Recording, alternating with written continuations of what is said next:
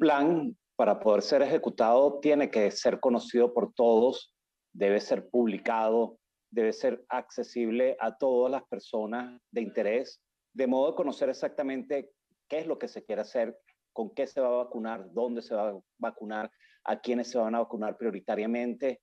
Si no hay nada publicado, simplemente lo que queda es improvisación, que es lo que uno ha visto lamentablemente, desinformación, que es lo que tiene la comunidad y la población, no es posible que la información salga de repente de un día para otro y no haya elementos para prepararse y saber y dejar de tener la desesperación que tiene la comunidad, que tiene en general todos, simplemente ante la incertidumbre si van a ser vacunados o no, o cuándo van a ser vacunados. Entonces, en comparación a otros países, lamentablemente, Ecuador, Venezuela, Cuba eh, y, y Nicaragua son los únicos países de la región que no han publicado un plan nacional de vacunación y eso es inadecuado, inaceptable. Los países que están haciendo mejor las cosas eh, lo publicaron incluso desde un mes antes, utilizaron los medios de comunicación para difundir masivamente, incorporaron a los factores tanto económicos, empresariales y sobre todo los científicos, las sociedades científicas, por ejemplo en Argentina, la Sociedad Argentina de Infectología ha sido involucrada de todos los referentes al Plan Nacional de Vacunación en Argentina. Entonces, eso es como deberían hacerse las cosas, incorporando los distintos factores. Es lamentable que hoy en día a la sociedad científica, a la Academia Nacional de Medicina, los propios venezolanos expertos no hayan sido incorporados en buscar un mejor abordaje contra COVID-19. Sí, la administración Maduro dice que esto ha tenido el aval de la OMS, la OPS. Ha tenido, ha sido consultada la Sociedad Venezolana de Infectología, es decir, la Academia Venezolana, para justamente em, diseñar este plan de vacunación, doctor. Fíjese que incluso la Iglesia venezolana ha dicho que esto no es un asunto político al mm, mencionar el hecho de que quienes han sido convocados hasta ahora al plan de vacunación han sido las personas que están inscritas, están registradas en el sistema Patria. Luego se ha dicho que hay que registrarse en la página del Ministerio de Salud, pero hasta ahora los convocados han sido los registrados en el sistema Patria.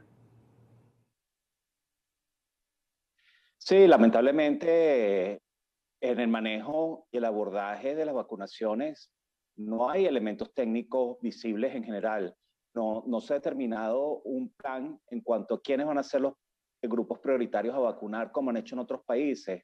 Uno ha visto como en Reino Unido empezaron a vacunar a los mayores de 80 años, los profesionales de salud, mientras que en Venezuela, lamentablemente, lo que se ve es improvisación, desorden. De repente, un día a otro dicen que van a vacunar los maestros, lo cual es un grupo de cuarto nivel en, en otros lugares. Y no es que los maestros sean no importantes, sino que simplemente los que tienen mayor riesgo de infectarse son los profesionales de salud. ¿Por qué? Porque desde el punto de vista laboral están expuestos a ver un montón de pacientes y en Venezuela más de 600 profesionales de salud han muerto desde el punto de vista extraoficial.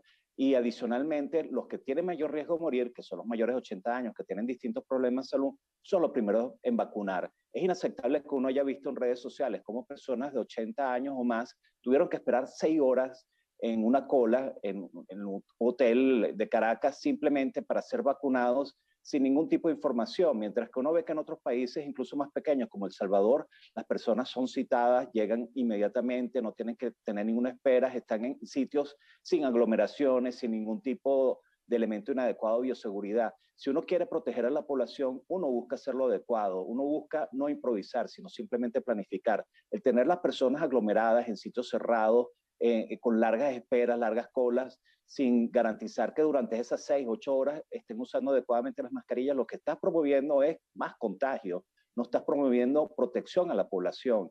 Y eso es inadecuado desde el punto de vista de lo que ha ocurrido en general. La falta de información también es totalmente inadecuado. Entonces, el llamado es a incorporar los factores científicos que no han sido incorporados. La Academia Nacional de Medicina la, Sociedad Venezolana de Infectología, de Pediatría, los expertos en vacunología no han sido incorporados en general. Que hay una mesa técnica nacional de vacuna es otra mesa más que simplemente no han reunido y que no se toma en consideración en general. Entonces, lamentablemente, en Venezuela tenemos décadas de dos tipos de país. Un país para los que están a favor de un elemento político y un país que lamentablemente excluyen al resto de la población. Entonces no es posible. Un carnet de la patria no es el mecanismo para incorporar o definir quiénes van ser vacunados. Un supuesto sistema aleatorio tampoco es sistema. Uno ve como en otros países latinoamericanos simplemente se vacunan las personas por edad y muchas veces sin ningún tipo de, de documento de identidad. En Estados Unidos muchos venezolanos han ido para ser vacunados porque ya es mucho más fácil vacunarse en Estados Unidos que en Venezuela, y lo cual es lamentable. Entonces, eh, hay que revisar las cosas. Lo que están haciendo es totalmente inadecuado desde el punto de vista científico y técnico. Sí, brevemente, doctor, porque nos queda muy poco tiempo. al ritmo que va este proceso de vacunación, al ritmo de las vacunas que han llegado hasta ahora, aunque ayer, eh, el fin de semana mm, Maduro decía que COVAX debe enviar ya las vacunas porque se hizo el último pago, eh, ¿se llegará al ambicioso plan de tener el 70% de la población vacunada para agosto? Ya incluso se ha hablado de septiembre, como lo ha dicho la administración de Nicolás Maduro. La Organización Mundial de la Salud fue seria en ese sentido, dijo, ningún país va a llegar en este año a, una inmunidad de rebaño, al 70%. Eh, los que prometan eso son simplemente promesas, son eh, enunciados políticos que no tienen ningún sentido desde el punto de vista en general. Quizás países muy pequeños que tengan una pequeña población y hagan bien las cosas pueden llegar a ello.